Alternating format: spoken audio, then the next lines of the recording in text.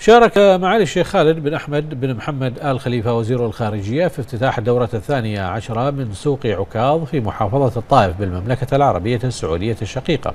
وذلك بحضور صاحب السمو الملكي الأمير خالد الفيصل مستشار خادم الحرمين الشريفين أمير منطقة مكة المكرمة وصاحب السمو الملكي الأمير بدر بن عبد المحسن بن عبد العزيز آل سعود. وصاحب السمو الملكي الأمير سلطان بن سلمان بن عبد العزيز آل سعود رئيس الهيئة العامة للسياحة والتراث التراث الوطني بالمملكة العربية السعودية رئيس اللجنة الإشرافية العليا لسوق عكاظ. وبهذه المناسبة تقدم معالي وزير الخارجية بخالص الشكر إلى صاحب السمو الملكي الأمير سلطان بن سلمان بن عبد العزيز آل سعود على دعوته الكريمة لحضور افتتاح سوق عكاظ معربا معاليه عن اعتزازه بالمشاركة في هذا الحدث الثقافي والسياحي المهم على الصعيدين الخليجي والإقليمي.